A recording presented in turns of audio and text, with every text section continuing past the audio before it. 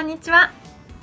ダルビッシュははい。いつもあのいつも見ていただいてありがとうございます。って始まるんだよね。最初あやってますあもんね。ー結構いい始ままりだなと思って、はい。でも今更な俺がまそうですね。ジャーから始まってるからさ、まあまあ普段通りに、そうですね、はい。私たちは普段通り。で、はい。うん。でも変わったことすると、はい。変な方向に流れると嫌なんで、あもうじゃあルーティンは崩さずに、ねね。こんにちはでい。きましょうか、うん。なんかえなんだあいつ嫌だなみたいないやらしいなみたいな思われると嫌じゃない？ああそうですね。ね。え媚び売り出したぞみたいなそうでコメントでまたいろんなの書かれてシュンって。あれじゃないの里崎に抜かれたから あの媚び売り出したんじゃないのって言われるのも尺出し読 んでますねコメント。でもそれで誰ほらコメントでまあいろいろねまああの賛否両論あるじゃないですかいろんなコメントが。でもやっぱりなんかちょっとずしんってくるコメントだったりとかちょっと病んじゃいそうなコメントだったりとかハゲちゃうよね。いやもういやもうじゃないですけどね。いやもうじゃねえ。でもちゃんと生えてますよ。当たり前だよまだお前。ここら辺がハゲてたらお前こうもうもう帽子取るわお前。もうそこはね潔くちゃんと大丈夫ですよ。いじめそれ。いじめじゃないです。あでもこれもほら感じ取る側としてはもしかしてそれがねそうだいじめって思っちゃったら落ち込んじゃうかも。そうそうそうそう。そう気をつけないと本当にそれは言葉って。まあでも小学校とかさ、ん。まあ、いじめ問題とかはい。いろいろあるよね。あります。だって今小学校の先生同士でもあったりとか。まあそうだな、うん。でなんていうの？そのいじめてるいじめられてる子を助けようとすると逆にその子がいじめられるというさ。もうなんかすごくどうしたらいいのっていう壁に当たってるよね。そうですよね。でも昔からでもありますもんねやっぱり。俺らの時代もあったよ。ありましたよね。あったあった。うんうんうんだってなんかライターでうん。髪の毛に火つけられたやつもいるしさ。いや昔本当にそういうのありましたよね、うん。なんかこう根性焼きじゃないですけどそういうのがなんかテレビで流れてたりとか。そうそうそう今ちょっと陰湿になったの？かな、そういう。多分その SNS とかネットが発達してきてまたちょっといじめの傾向が変わってる変わってるよな。はい。うん。でもいじめは嫌だな。いや嫌ですよ。嫌ですよやっぱり。でもねこれ勇気が持てるのかどうかわかんないけどうんはい。球界でもやっぱあるんだよチームチームで、えあるんですね、うん。まあそっか、まあいじめというよりも浮いてるというか。浮いてる方なんです、うんそれ一人やっぱ浮いた存在のとかそういうことなんですか？でもさうんこれね団体競技をやってると一人浮いてうん。一人標的になるでしょ？はい。そしたらうんこっちのやつらはまとまろうとする力があるんだよね。この標的に対して。ああ大勢の方が。だから、はい。まあこれはいいとは言えないけど、はい。そういう効果があるということあなんか心理的にまとまってきちゃうってことなんですかね、であいつ嫌だなって。うん「嫌ですね」とか言って、うんうん。まあ例えばこう10人が結束を固めるというかさ、はいだかはいらそういう効果はあるんだよね。なんか人間の心理なんですかねそういうのって。だから大衆と民衆の違いっていうかさ。うん。でそうや浮いてるやつってさ、はい。意外に感じ取らないんだよね。うーん。鈍感が多い、はいはいはい。うん。まあ鈍感力っていうのは大切なんだけどはい。えそこまで鈍感なのみたいな。うんうんうん。そしたらまたこっちがイライラしちゃうみたいあもう逆にね、ううん。んだからもうやめようかもう言うのみたいに。ないややめないやめやめやめないの？はかかぶせにかぶせに結構結構すごいですねそれら俺らの時代っていうのは派閥は確かにあったよ。うんうん。派閥はあったけど、はい。まあ仲、まあ、その派閥っていうのはその聞こえ悪いかもわかんないけど、はい。仲いい者同士で、うんうんうん。ないくつかのグループがあったという。まあだからだらからといって他のグループのことをけなしたりだとか、うん。そういうことはなかったんだけど、はい。だけど浮いてるやつってはいるよね。まあ、どこの組織にもうん。いますよね、ただ野球ってそういうのはさやっぱ勝つことが目的でしょ？はい。だから勝つことに対してその気持ちはぶれないよね、はい。うん、だからいいんだろうけどまあ例えば浮いてるやつが、まあ、ピッチャーで投げてるとか。はい。そうすると「おうちょっとお前頑張れよ」とか、うんうん。ね、うん。そういうことはもう言うしさ。うんうん。でも私生活は共にしない、うんうん。まあそうまあ、それはだからいじめでもないし、うん陰湿でもないよね。まあそうですね。陰湿なのかな。いやでもチームのためにね頑張ろうってなって、うん。で球場離れたらはい解散っていうことですもんね。別にだからって何があるわけでもないっていう。付き合ってるわけじゃないしなまあそ まあそそれなんとも言えない。もしかしたら付き合ってるせっかなんかいたいました、付き合ってるやつ？はい。それはいなかったけどはい。他の球団ではなんか付き合ってはないけど狙われてるみたいな。そういう。誰々が誰々に。危なくないみたいな。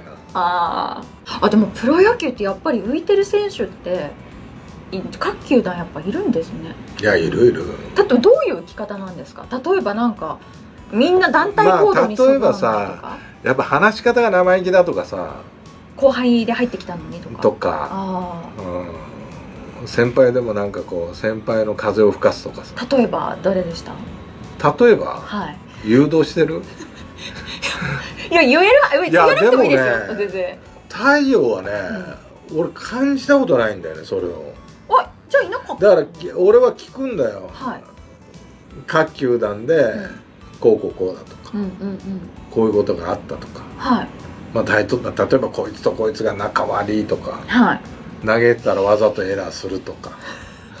とか とか。とかまあ。もうみんなに無視されてますよとか、あるんだ。うん、でも太陽はなかった？太陽はないよね。だからそういう意味ではやりやすい球団だったのかね。そうですよね。そうですよね。俺が感じてなかったのかもわからない 実は豊さんが。鈍感力半端ねえっつってそっか、うん。いやでも豊さんはねだってこうやってゲストもたくさん来てくださるでもね俺過去を振り返るの嫌いだから。はい。まあ例えば同窓会とか、ねあんまり好きじゃないの。過去には振り返ってさ思い出話するわけじゃない、まあそうですよね、うん、俺前に前に行きたいタイプだから。ですよね。いやなんかねくだらないとは言わないよ。う、ん。でもその思い出に浸りたくないというか。う、んうん。過去振り返ってもしょうがないっていう。はい。過去ボロボロだから。そこはもう振り返って落ち込んじゃうから。いろんなことしてきたなみたいな、うんいうことだから過去過去を振り返っても仕方ないと思っちゃってるし、うんうん。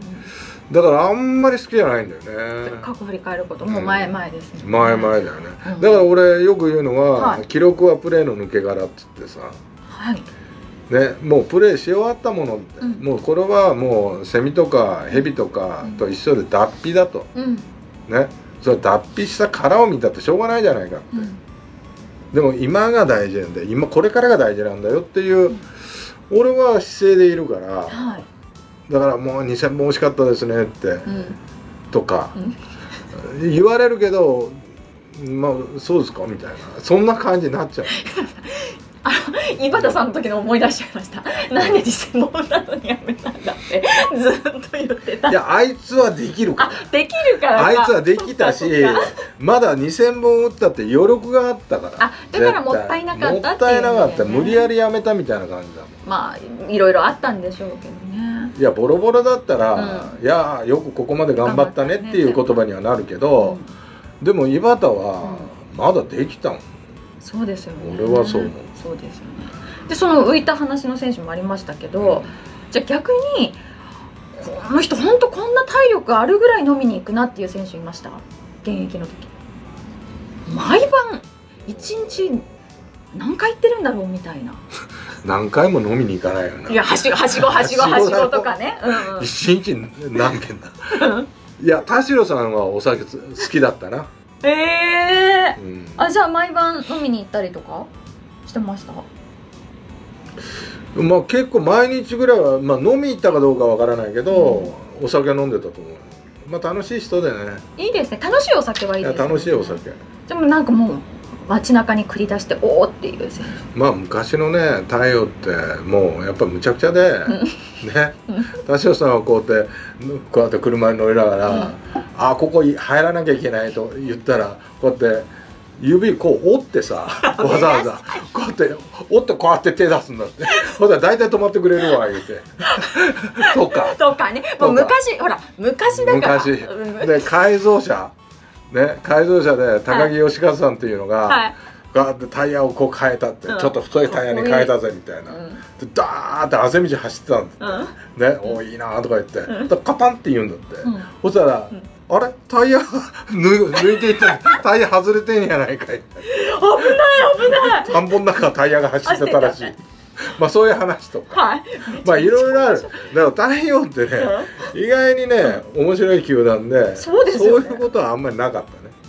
そういうことはあんまりなかった。あそういうねこの話はなんか面白いのかな。どうなんですかね。いや私はなんかなんかいじめの話から最後ね。なんかもう全然違う方向に行ってるし、うん。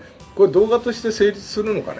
どうですか。でも私としてはまあまあいじめもまあ問題っていうのはあれですけど私としてはちょっと実はそういうところをすごく聞きたいね。あの豊さんの現役時代のどの選手がすごい破天荒だったとか夜のナンバーワンは誰だったんだろう夜の三冠は誰だったんだろいういや屋敷とお前門限抜け出してさ、ねうん。冬のくっそ寒い時だよ。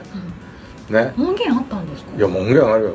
最初？だって寮だあ最初そっか、もんんで、うん、二人でエンジンかけたら聞こえるんだよ。